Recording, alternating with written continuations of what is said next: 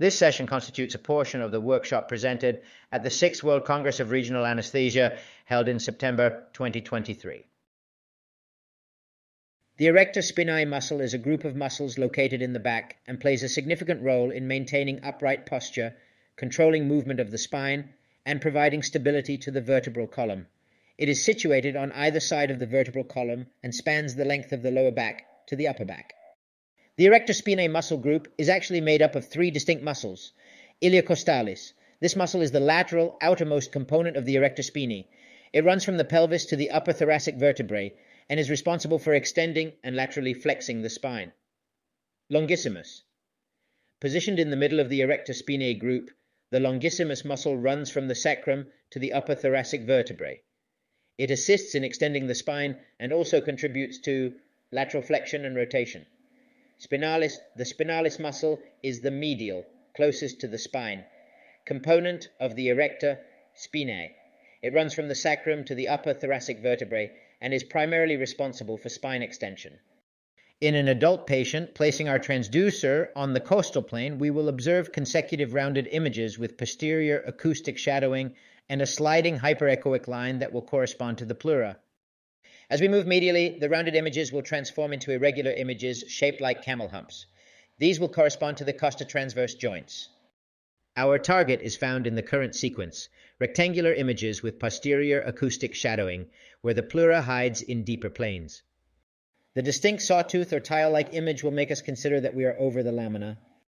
There are a series of considerations that we must take into account when we perform ESP blocks in pediatrics Physiological spine curves in children refer to the natural curves that should be present in a healthy spine. The spine has three primary curves cervical lordosis, thoracic kyphosis, and lumbar lordosis. These curves develop as the child grows and becomes able to support their head and sit upright.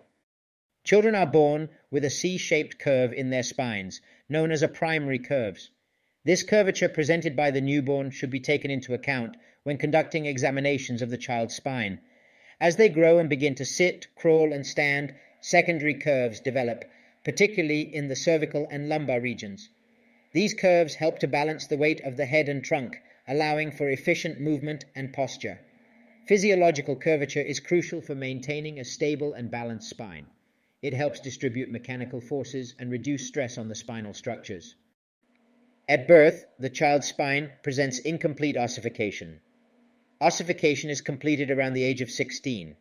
There are three centers of ossification, which evolve differently until full maturity. Unlike the adult, this incomplete ossification is what allows optimal ultrasound images in the child's spine.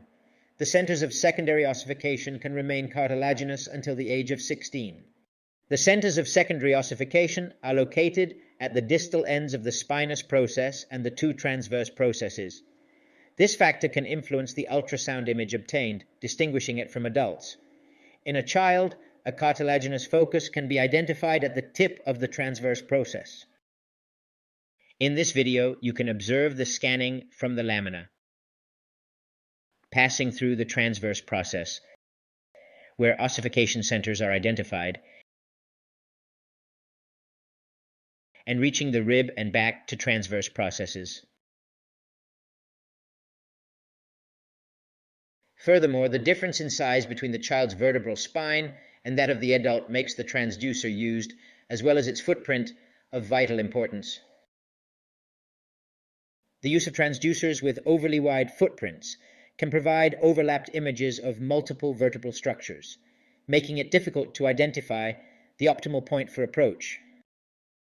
The size also influences the thickness of the back muscles.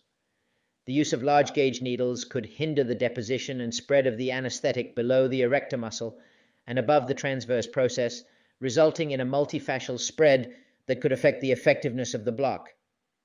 It is advisable to use smaller and beveled needles, not Tuohy tip, to ensure proper diffusion of the injected solution.